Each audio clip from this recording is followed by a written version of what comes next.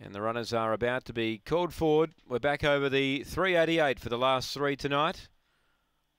And they are set to run here, race number 10. Green lights on.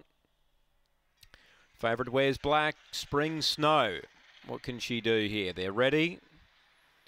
Set, racing. Spring Snow about third and fourth away. Dallas Fernando, the main threat, won the start. Dashes two clear. Zipping Capri second. Spring Snow starting to get a wriggle on. Then Hot Gallon, Bundoran last. Off the back, Dallas Fernando by two. Spring Snow coming to the outside. Back to the inside. Leader still Dallas Fernando. Spring Snow coming.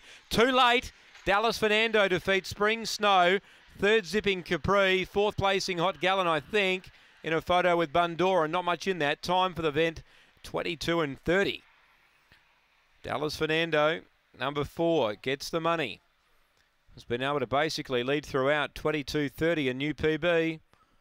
Jumped on the lure, kept running. Spring Snow was giving it about three down the back. I felt at the top.